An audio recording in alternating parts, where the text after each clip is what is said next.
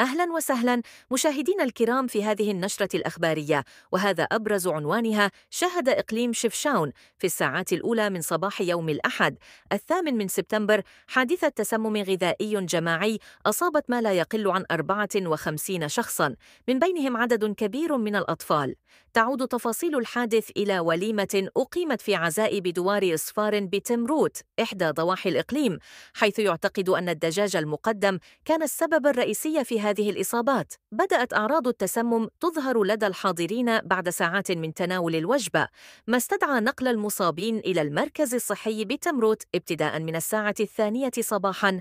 ونظراً لتدهور الحالة الصحية لبعض الحالات وخاصة الأطفال تم تحويل ثلاثة منهم إلى المستشفى الجامعي بطنجة لتلقي الرعاية الطبية الضرورية.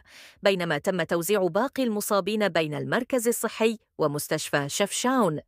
هذا الحادث المؤسف يبرز أهمية الالتزام بمعايير السلامة الغذائية خصوصاً في مثل هذه المناسبات، ويؤكد الحاجة لاتخاذ تدابير احترازية لضمان صحة وسلامة المواطنين.